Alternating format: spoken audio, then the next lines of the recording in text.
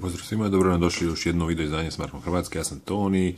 Danas sam pripremio jedan kratak osvrt na Sony Xperia teme koje su dostupne na svim Sonyvim Xperijama koji vrte Android 4.3 i e, viši. Pa onda ostanite s nama i u nastavku pogledajte o čemu je zapravo riječ.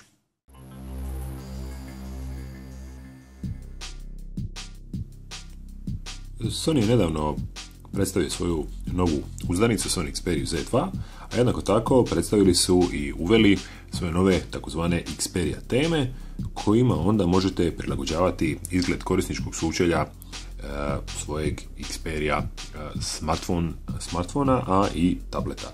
Dakle, e, riječ je o vrlo kratkoj i jednostavnoj prilagodbi korisničkog sučelja u kojem se mijenja, kao što Sony kažu, čak 280 elemenata korisničkog sučelja koji uključuje navigacijsku traku, ikonice, izgled mapa, e, izgledu ih nekakvih boja, e, kako oni to zovu, akcenata, odnosno naglasaka tih razno raznih e, dijelova korisničkog sučelja.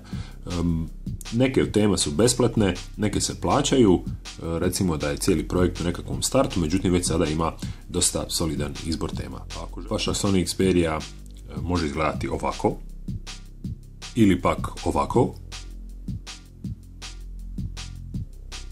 ili možda ovako, ili možda pak ovako, posve drveno.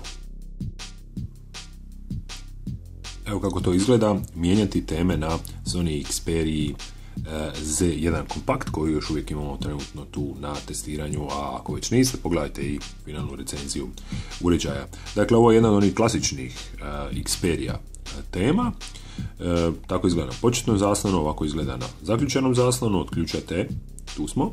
Dakle, vrlo jednostavno uštipnete početni zaslon i kliknite tu dole na teme.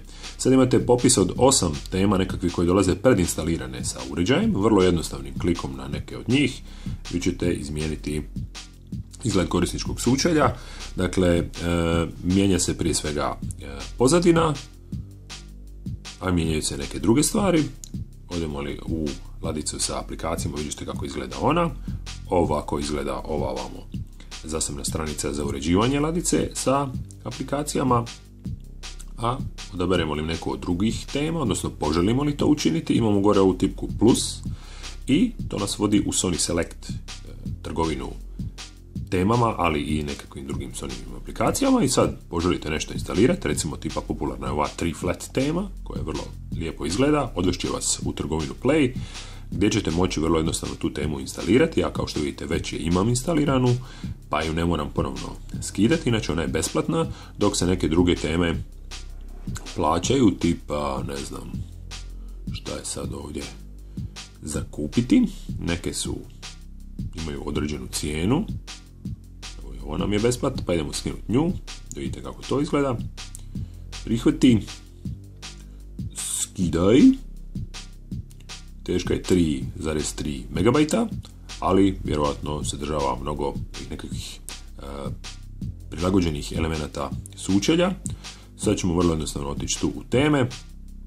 Pronaćemo Noir koji smo upravo skinuli, primijeni i dobit ćemo ovo. Sada ovdje vidite šta je sve zapravo izmijenjeno. Poprilično onako tamno izgleda. E, već je samo zaključani zaslon izmijenjen, izgleda ovako uključujemo. Vidite da su drugačije navigacijske tipke. Home tipka izgleda turbo, čudno. Ok, back tipka također izmijenjena. Ladice s aplikacijama. Wow, sve ove ikonice, sve se to mijenja. Idemo pokušati još onu jednu temu da vam pokažemo onu tree flat, meni se ona sviđa. Tree flats. Izgleda ovako. Zaključeni zaslon.